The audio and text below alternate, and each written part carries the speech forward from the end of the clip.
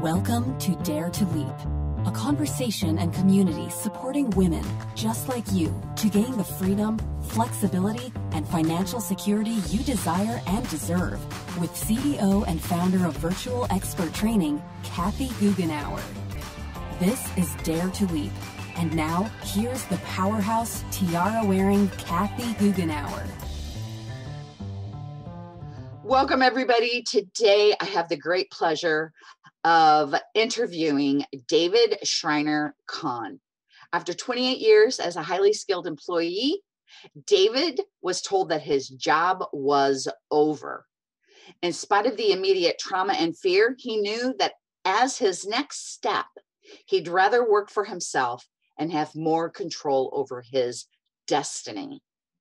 Anybody think that sounds a little familiar to my story? Well, David and I um, are siblings from an, uh, I was going to say brothers for another mother, sisters from another mister, siblings from another, I don't know what that would be. Comment, let us know what that would be. But that was back in 2006. And today, David is a thriving entrepreneur, podcaster, and speaker. He is guiding highly skilled professionals who are recovering from a late career job loss and who yearn to impact the world with their knowledge and creativity by becoming successful entrepreneurs. And I will just add something personal here at the end, which is David is absolutely filled with knowledge, wisdom, and is going to share some amazing insights here. So please tune in. You might even want to get ready to take notes. So, welcome, David. Thanks so much, Kathy. It is great to be here with you. David, I'm going to just tell people if you're not watching this on YouTube, you might want to go check it out because David is one handsome dude. I'm telling you right now, he's got that silver hair that I love.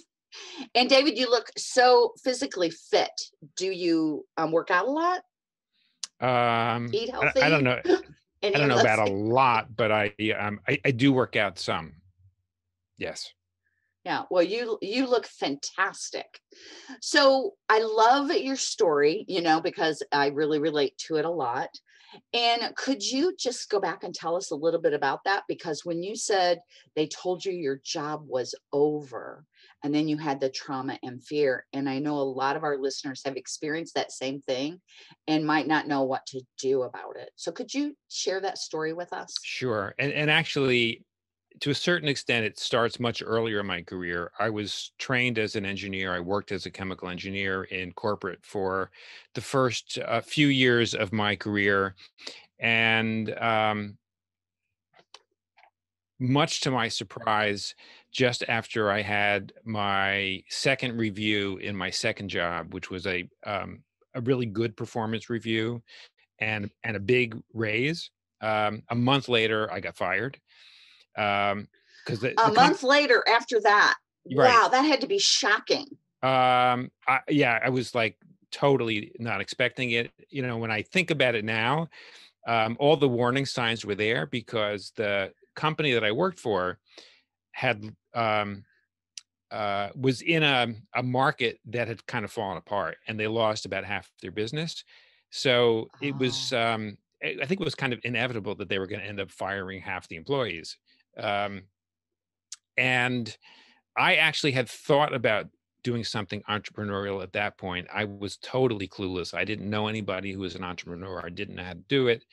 Um, and I ended up, um, you know, the, the, the, the short story is I ended up going into the not-for-profit sector because I just wanted to do something that I felt was more meaningful. Um, people thought, who I knew thought I was crazy because I took a, um, sizable pay cut to get into the um, uh, into the job that I that I went into.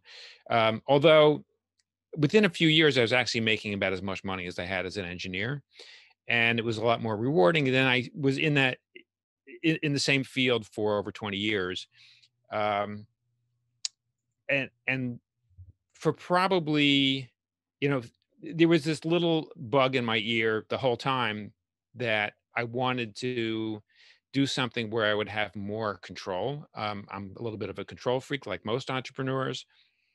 and so, um, I mean, the good thing about the career that I ended up in was I was in executive roles the whole time. So I had a lot of authority and a lot of leeway over what I did, how I did it, when I did it. Um, so it actually provided a lot of the same kinds of um, what the perceived, I guess, freedom that um, entrepreneurs think they they have. And um, but at the same time, I I really wanted um, other people to have less control over what I did and when I did it and how I did it. So I had, um, you know, I kind of peaked in my job and there was some political stuff that was going on that had nothing to do with me that was probably going to affect my job. I sort of, at that point, I, I saw the handwriting on the wall and I decided that um, that I wanted to just be a consultant. I hired a lot of consultants.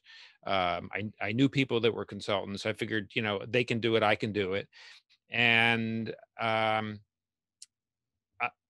I, I did wait until somebody else made the decision so that the timing wasn't my choice, although I was, you know, more or less resigned to to um, to make the switch.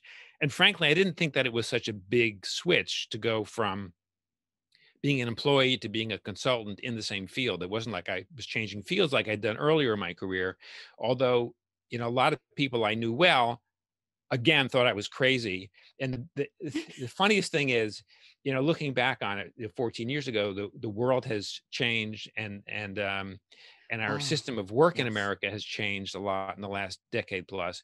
But the the most common question I got from from friends and colleagues was, David, what are you going to do about health insurance? And I was like, mm-hmm. I'll buy it. You know, you and, and in my role in um, in my job, I had always been the group administrator, so I knew all about how that kind of stuff worked, and I knew how much it cost. So it wasn't a surprise to me that I just had to buy it and and set up a group for my company.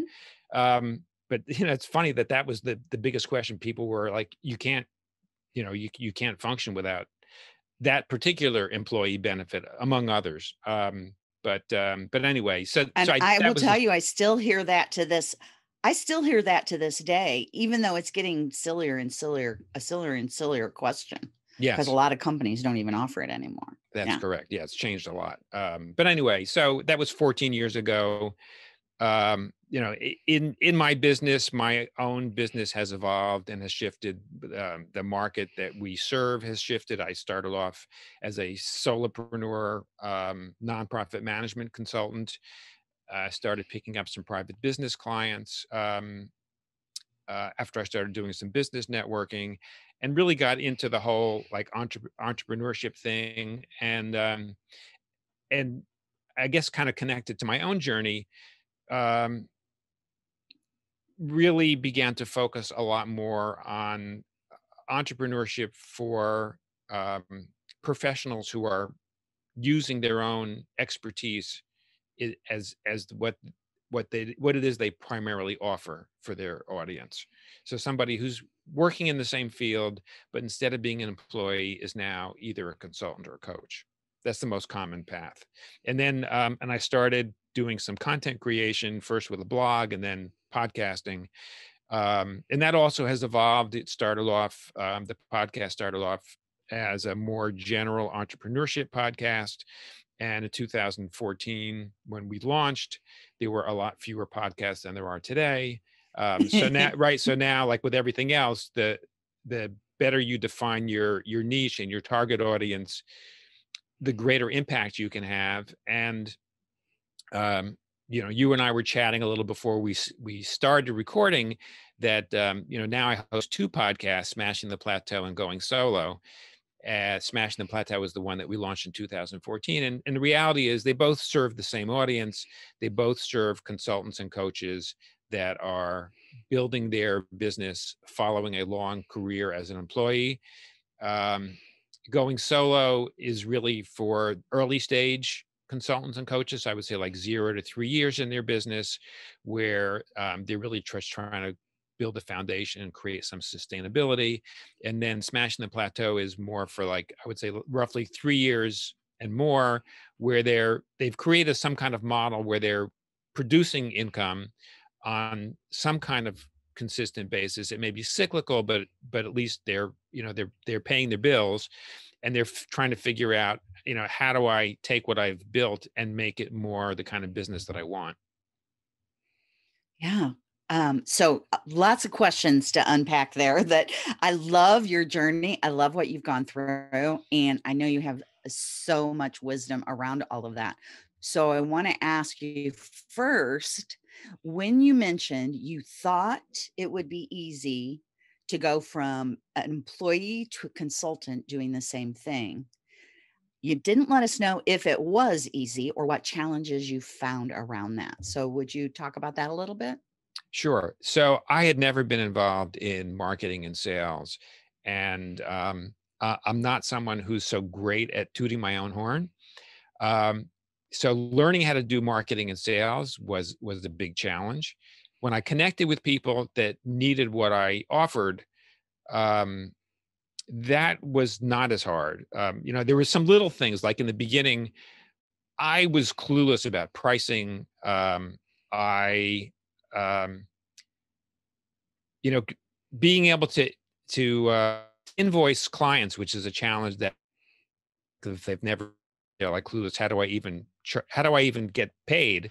Um, that whole process is right for some people they they just don't know how to do it um, right, you know, so, right right i'd always been responsible in my roles for finance and operations so i knew uh, i'd seen lots of invoices in my life um, so i knew more or less what to do when it came to invoicing i was pretty clueless when it came to pricing and um, you know my initial pricing model was was um, time for money it was it was mm-hmm. either an hourly or a daily rate, which is what a lot of consultants do.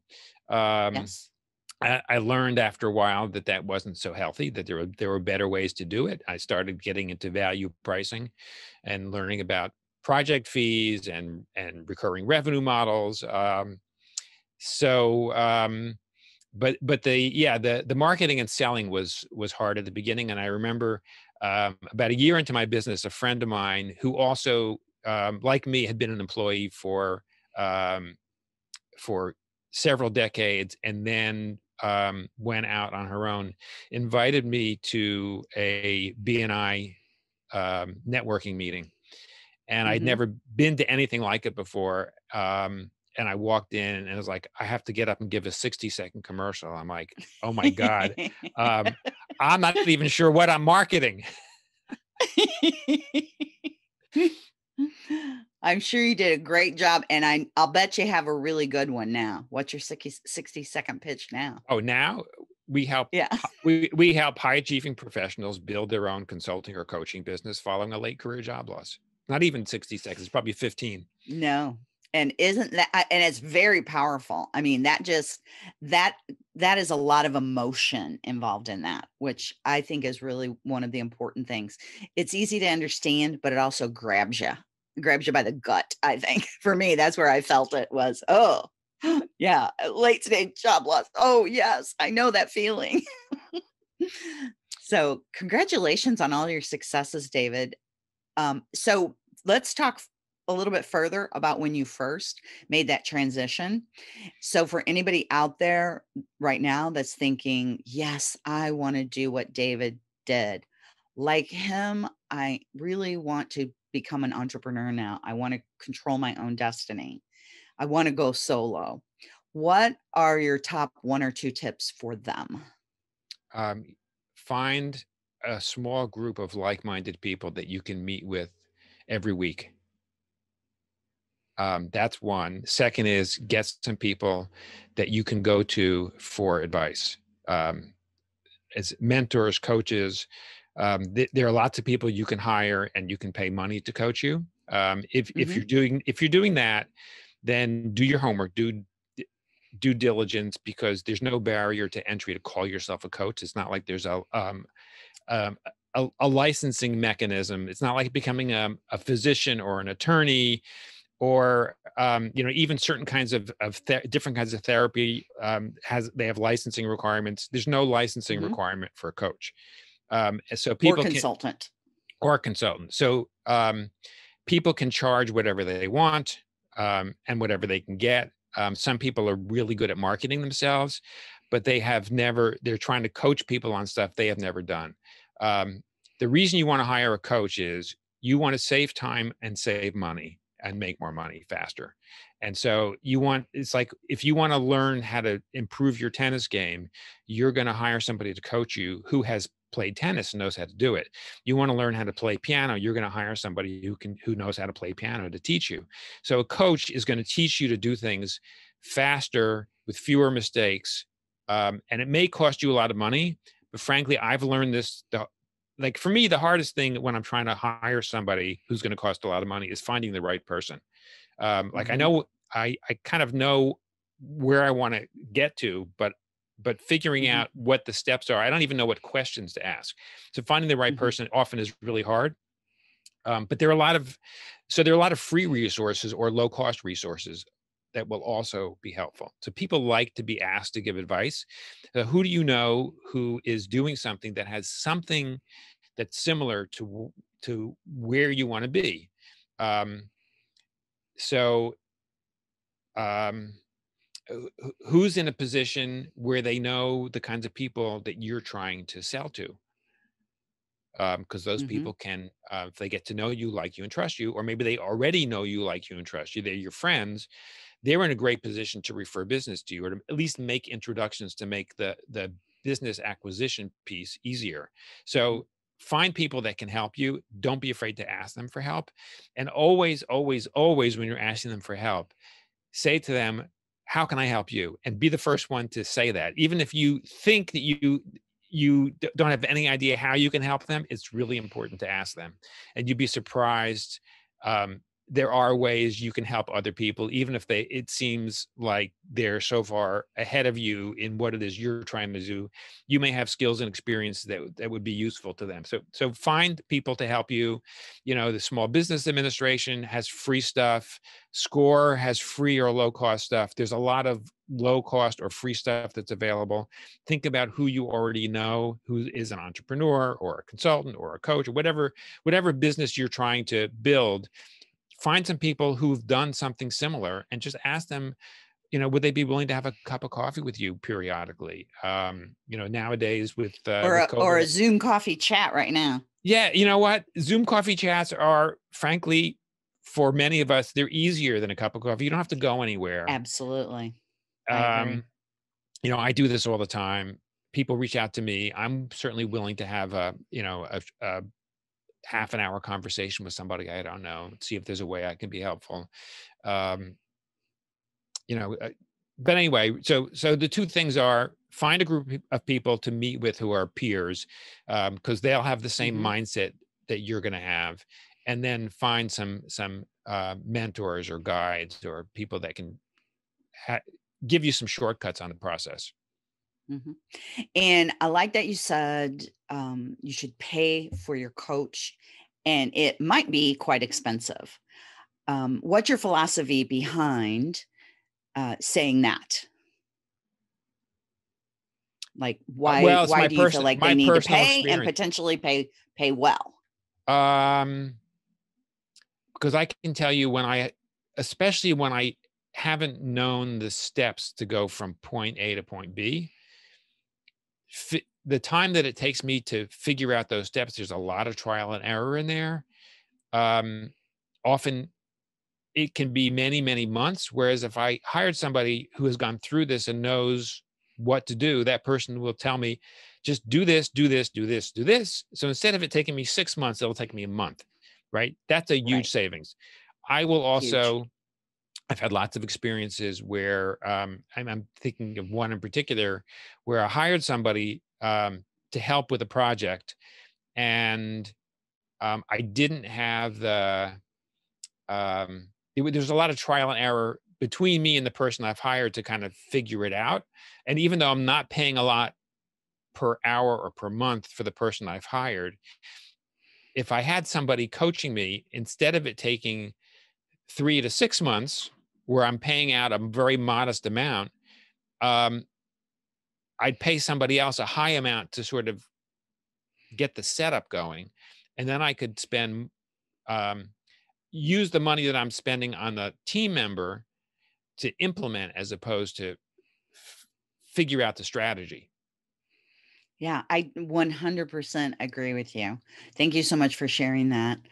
Um, I also I, find, I, will tell you one, one story to illuminate this. Like, okay, so when, um, when I when I first started blogging, which was the first first piece of content creation that I did, um, the reason I wanted to do it was I looked at other consultants and to see who I thought was doing a better job than me. And the ones that I noticed were people that were creating content. And in those days, it was mostly through blogs. And I thought, okay, um, I don't know how to do this. Um, and sitting down and writing blog posts is like not my favorite activity. So I hired a college student to help. And it was great. Um, the person I hired was terrific. It was a he was a journalism major and a really good writer and somebody who had his own blog, so he knew how to do it. Um, it took us probably, I'm going to guess, maybe four, six of planning before the actual blog went live. And I'm willing to bet if I hired somebody who knew how to create a blog for consultants, I probably could have done the whole thing in a month. Now, it didn't, I mean, I wasn't paying the college student a huge amount of money. So it wasn't like, you know, it wasn't a huge expense, but it still took a lot of time. It took a lot of my time. And I probably would have had the whole thing done much faster if I had hired Mhm. somebody to coach me on it. Yeah, absolutely. Um, you know, there are some people who, when they hear the word mentor, they think of free. Um, what do you think about the downfalls, the negative side to doing uh, something like that free? Not Depends you on- providing yeah, it free, but but the person receiving it for free. You know, it depends on the person. So, like when I first started my consulting business, um, Mhm. There was a, a business school professor that I was um, that I had a relationship with, who um, was willing to meet me periodically for lunch, if um, you know if I reached out to him, and he Mhm. was really helpful in giving me some um, some advice and also gave me some great referrals. Um, and it Mhm. was something he liked to do. Um, he wasn't expecting me to pay him for it. Um, Mhm. Frankly, he wouldn't even let me pay, like treat him for lunch. Mm-hmm. Um, so you know, it's like it depends on the person. And on the other hand, there are people, right? There are people um, who have expertise, and they make their their living by selling their expertise. So you're taking advantage of them if you're asking them yes. to mentor you. Like like in the case that I mentioned with this professor, you know, he was making a good living between his his his teaching role and his own consulting business. Um, you know, I, I knew that he did this with some, and I had a friend who was also in the same program I was in, who also became friendly with him. So I knew that he did this for a limited number of people, and he was willing to do it. And I think he liked doing it. hmm So I think it really depends So- on the person. And the relationship that you have with that person, it sounds yeah like absolutely Yeah. Yeah some some people like there's sometimes when it's like if you're offering if you offer to pay somebody for something they almost get insulted but you Mhm. also the flip side is you don't want to take advantage of those people and you don't want to take too much That's of their right. time it's it's a Yeah. really delicate balance to figure out Right. Versus when you're paying someone well to teach that to you, uh, you can ask them everything you want and contact. You know, you you have a much clearer relationship there where you're they're available to you. you know what kathy i think in either case i think it's important to um to set expectations on for both parties and to Mm, like that. communicate what those expectations are so Right. i i don't see anything wrong with if you're if you have a potential relationship with somebody who could mentor you and probably wants to do it for free to just ask them and say um you know i'm trying to learn how to do this um Mhm. I'm I'm willing to hire somebody to do it. Um, I'm Mhm. grateful that you're willing to help me. Um, Mhm. uh, how do how do you want to proceed? Because what would be most beneficial to me would be some kind of structure and consistency in in getting advice from somebody like you. Um, you know, I'm willing to pay for it if if this is not what you're looking for in the relationship. Um, you know, if the Mhm. payment part isn't what you're looking for, that's fine. Just tell me what the parameters are, and I don't want to Mhm. take advantage of you, and I'm, I'm grateful to learn from you. Just be straight. I love that advice. Yes, I love that Yeah. advice. No matter which way you go, get that those set those expectations, establish the boundaries and say what you want out of the relationship. I love that too, David. That's really good. What you want out of of um, working with them. So one of the challenges that I see a lot, especially when people are not paying a significant amount of money for the consulting or coaching is that they then go around and consulting shop or coach shop or do lots of free stuff or you know pay a little bit for a lot of different opinions and it just gets them confused have you experienced that with people that you've worked with who pe- people who have been your clients or people who have come to you and gone, I'm just so confused and overwhelmed. Uh, I see 10 different things, ways that I could price this, and I don't know how to do that. See anything like Um, that? I, I do see people. Well, I what I see actually more than that is people that are not willing to invest in themselves. Right? If you Yes. if you are in business for yourself as a consultant or a coach or call yourself a freelancer whatever it is or you're running a company there are things that you know and things that you don't know Mhm. and if you want your business to develop and to grow you need to always be learning and so, right and Yeah. and some of that learning is going to cost you money and it's Mhm. also going to take you time um, and you just Mhm. need to be really clear in your own mind what is it that you want to change from where you are now and how long do you want it to take Mhm. and how much um how much greater net income do you want to be bringing in at the end of this process compared to where you are Mhm. now. Um, so given given the time frame amount of time you want to put in and what you want to get out of it financially how much are you willing to invest in the process? And some of that investment is going to be stuff that you're going to learn yourself personal development. Mhm. right? So if, if i'm trying to make let's say i want to make $100000 more net income a year from now compared to today um, am i willing to invest $10000 in the process? Of course. That's that's a you know that's a great return That's on a investment. no brainer. yeah. So Yeah. what so would i spend $10000 on a coach if what i need primarily is coaching? Of course i would.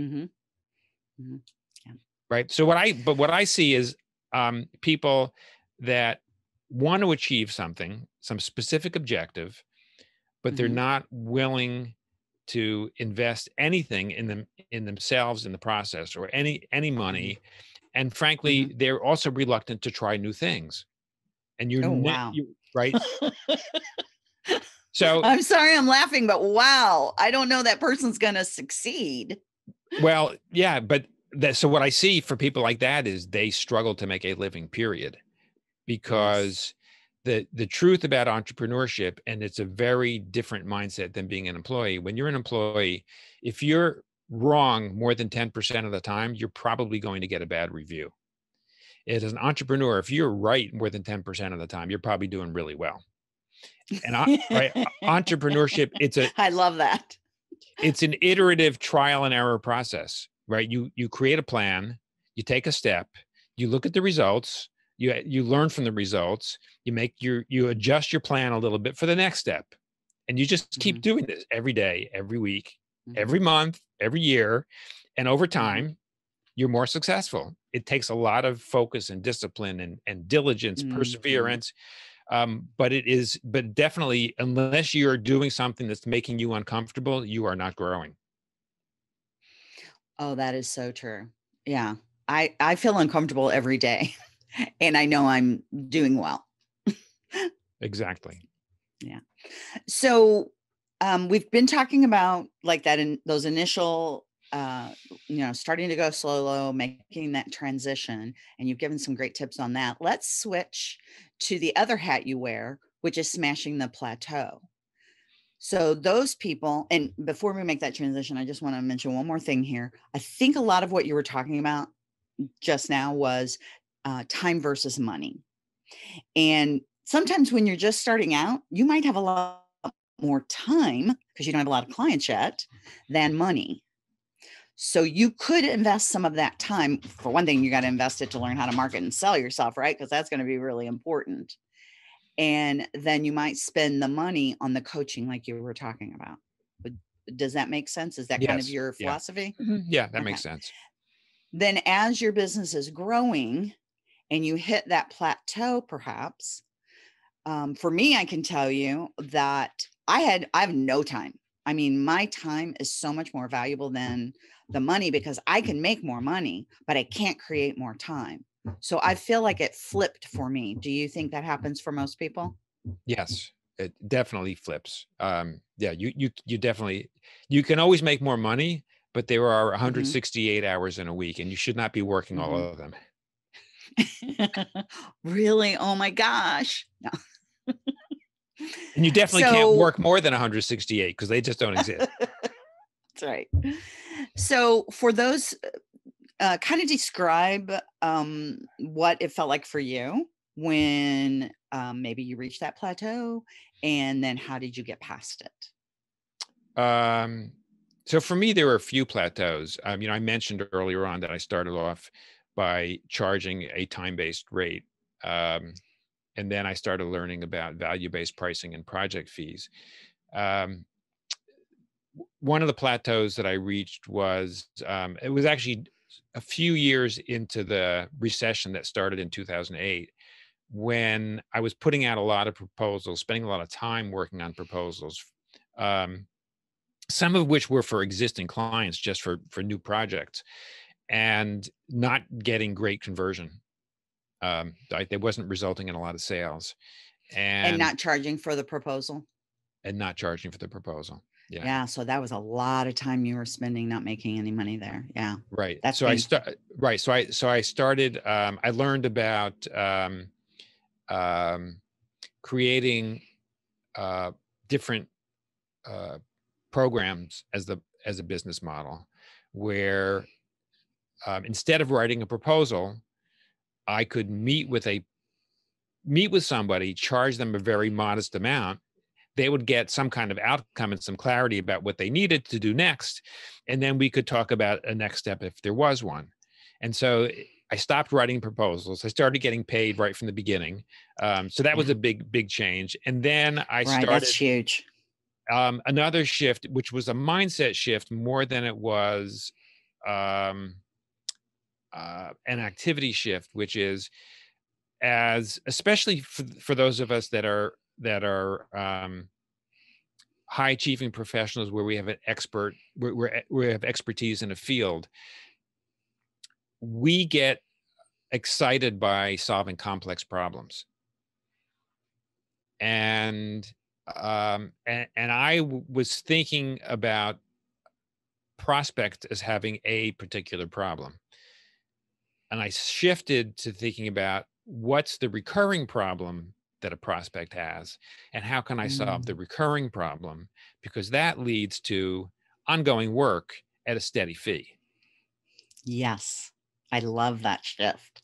That's such an important shift. Yes. So so today um, for our um, uh, sort of a, a, hybrid of consulting and coaching. I would say sort of the, the guidance work that we do.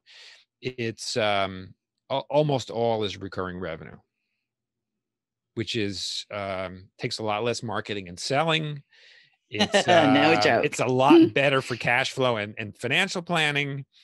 Uh-huh. Um, it, it's uh yeah that that's a much better model and i you know it took me a yeah. while so that that was a major uh, plateau for me and then as mm-hmm. far as like the time for money is concerned um i think pretty hard about any kind of um, anything I'm going to say yes to about whether it is producing revenue or not, or if it's not Mhm. producing revenue, what's the likelihood that it's going to lead to revenue?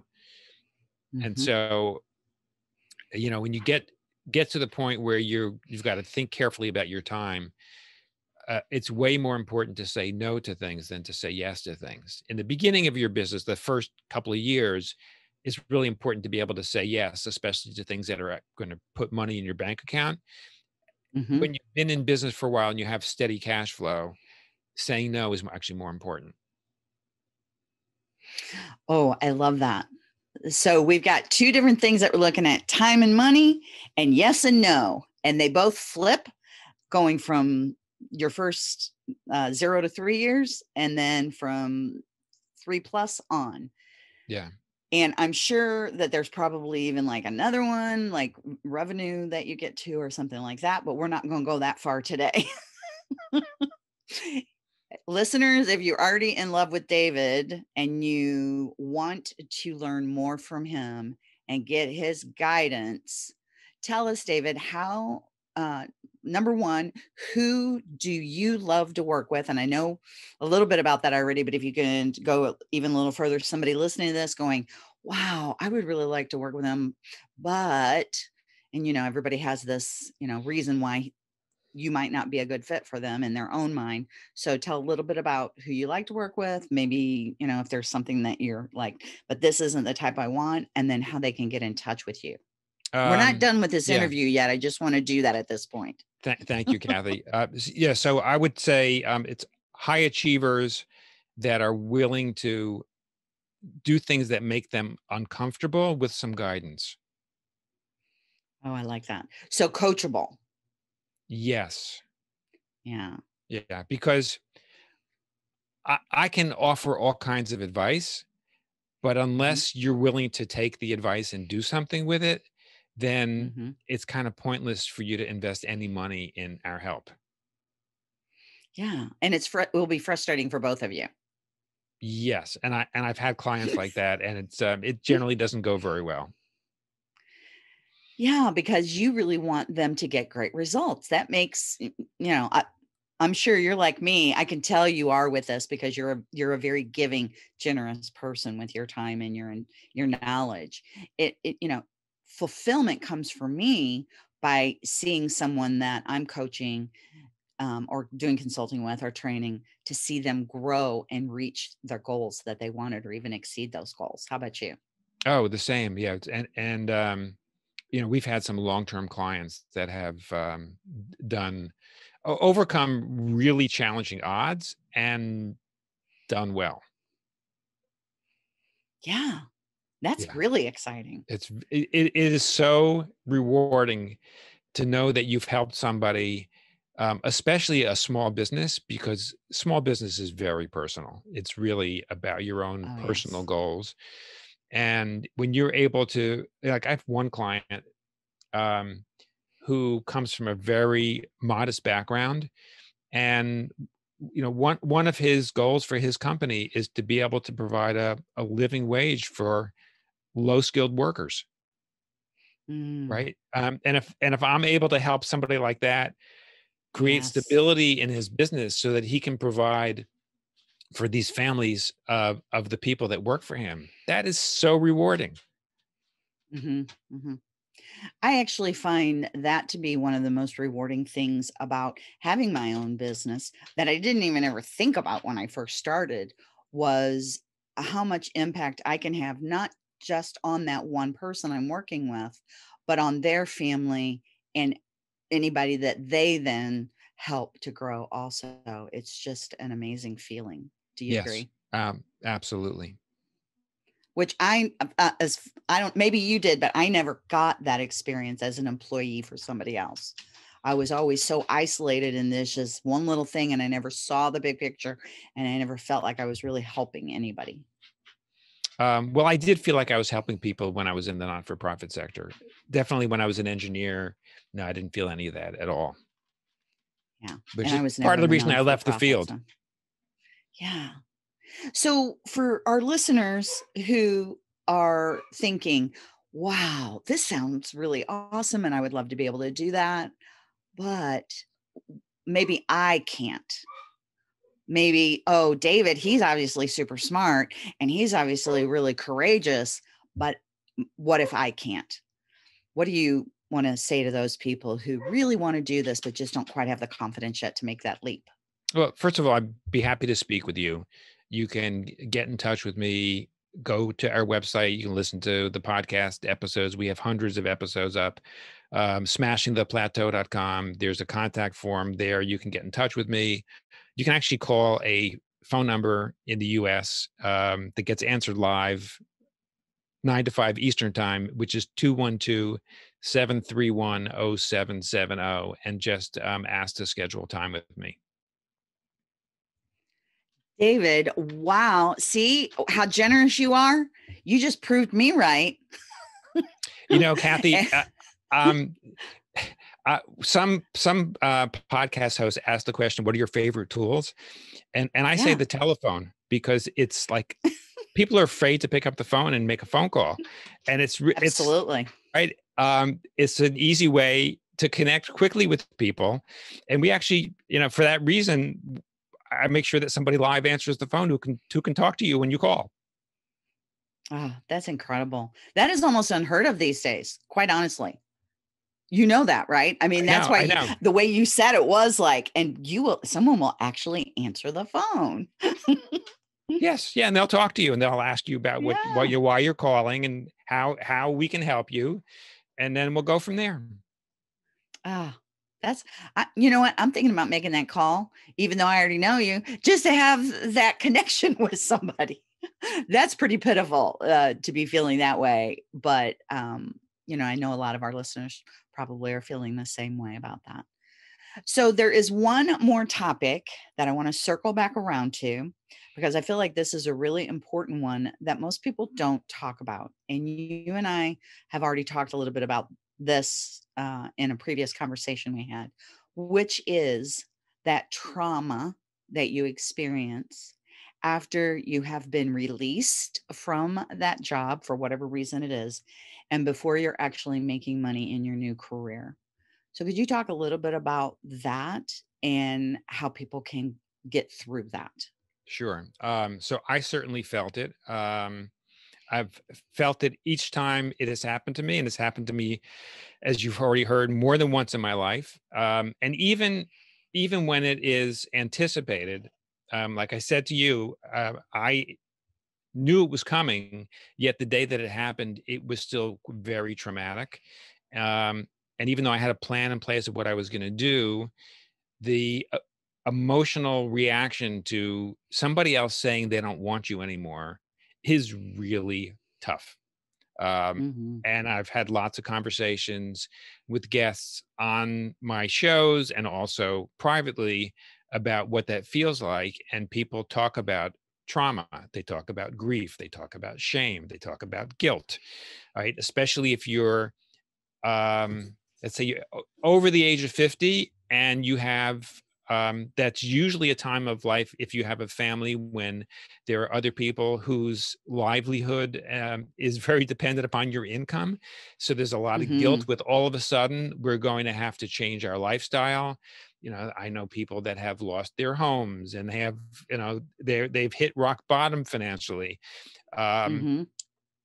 if you if you look at some of the they're actually much to my surprise, there there is not a whole lot written about job loss for um, workers that are, I would say, 25 years plus in the workforce.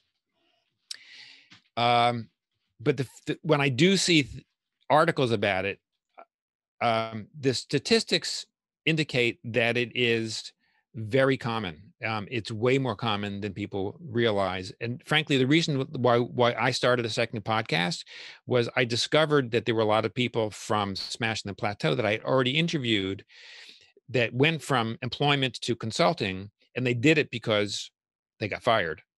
But they didn't talk about the fact that they got fired because there is the shame and the guilt and the and the trauma. Um, I had a therapist um, on my show who talked about the grieving process and how when you lose a job, there are a lot of similarities psychologically to losing a loved one. And you actually have to go through the process. So um, the first thing is to recognize that you are going to have strong emotional reactions to being fired and it is okay and and you're not the only one who has experienced this and you're not the only one who is experiencing and feeling what you're feeling.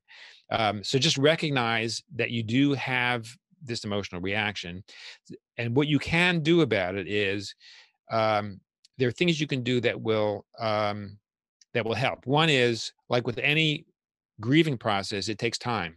So to the extent that you're financially capable of actually taking time when you're not focused on work, you're going to be better off. Um, I remember one of my guests on my show was a friend of mine. Would um, was well paid in his corporate career, so he had the money to do this. But he literally took a year when he didn't focus on what he was going to do next. Now, not everybody can do that, um, but he said it really helped him figure out what he wanted to do, how he wanted to do it, and it gave him. He said he felt like totally beat up by his job.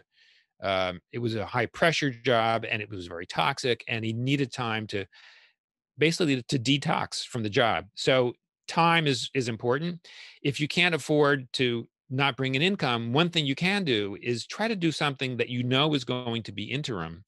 So you're not focused on turning what you're doing into something bigger you're just focused on i'm going to do this for now and to the extent that i have some some spare time i'll detox and i'll think a little bit about what i want to do long term. So like an interim job is a great thing to do. If you can do something that's totally different than what you were doing just get paid some money to pay the bills you know that that's also helpful. Um, people talk about you know doing something that is like very different. I remember had a conversation with a friend of mine recently about how the act of um uh when he got fired he took a drawing class and it just helped um get his mind off of what he had gone through and what he was going through. So yeah so different kinds of activities can be really helpful. Um so yeah so you you need like whatever you can do to create this kind of breathing space before you do something new if to the extent that you can. Such great tips and thank you so much for sharing all of that because during that my dog decided to bark nonstop and i was able to mute myself. The power of so technology if, kathy. if he starts again forgive me. Um so you know i have a friend who has just gone through what you were talking about your friend went through as far as losing the job and she told me that her that there were just waves of shame washing over her and it just felt like she couldn't even move. Literally her goal was to exercise every day and that was it. That was her only goal just to get up and move. Um so I love that you shared that because it is it is so powerful that shame and until we get through that there's just no way you can really you know jump in and do something on start your own business and do all that you you can't even get out of the bed hardly yeah and make it's really hard to market and sell yourself when you're feeling when you're feeling yes uh guilt and shame and you're yes. what it means is your self confidence is not particularly high. Um, oh, yeah. you, you need a lot of self confidence to market and sell. Yeah. You know, I love that idea that you have of doing something totally different. Like I immediately thought I could work at Starbucks. I could drive an Uber. You know, I'm sitting here thinking of all those different things that I could do um, you know, like if you like to be outside, you know, do some lawn mowing or go work at a garden shop or something like that. Or even, uh, I'll tell you something that really makes me know right away that, oh, I can't wait to get get back to working as an entrepreneur is uh, work as a waitress or uh, in retail. And then I'm like, woo, I can't wait to have my business back. Let's go. yeah, it, it it's really true. Yeah. Well, David, thank you so much for sharing all of that because hopefully somebody uh, who is going through that right now can listen to this. And I'm going to be contacting my friend and say, please listen to this podcast because hopefully it will help you. Uh, we've all been there. I don't know anyone, David, who has not lost a job, whether it's, you know, they got fired or laid off or something these days. I mean, I just don't know anybody that hasn't been there. And um, it really is important to take that time and nurture yourself. Just not easy to do. Right. So, in wrapping up, is there anything that I haven't asked you about that you're like, oh, here's something else that I really want people to know? Here's another tip. Anything else? Um, now we've covered a lot of ground. Thank you for asking that, Kathy. We, have covered yeah. a lot, and um, I'm okay. I'm hopeful I'm hopeful that this is helpful to um, any, any of you that have experienced anything that we've discussed. And um, like I said earlier, if you want to get in touch and, and chat with me, feel free to do so. Um, go to smashingtheplateau.com or call us 212 731 0770. And we will have all of that in our show notes also. And I just want to tell everyone if you want to learn more from David um, before contacting him, I highly recommend his podcasts because they are really packed with information and you can learn a lot from that. In fact, David, I'm going to also suggest that if somebody is feeling really low for whatever reason, that they go check out your podcast because you've got excellent information there also that will help them with that. And you have them so clearly identified on what the topics are, they can really scan through them and find what they really want to listen to right then and get a pick me up. Thank you, Kathy. Thank you so much for being here today, David. I really appreciate you. Thanks again. Thank you for listening to Dare to Leap. Say hello and access additional resources at virtualexperttraining.com. There, you'll be able to connect with Kathy to share your feedback and join her community. Join us again soon on Dare to Leap. Until then.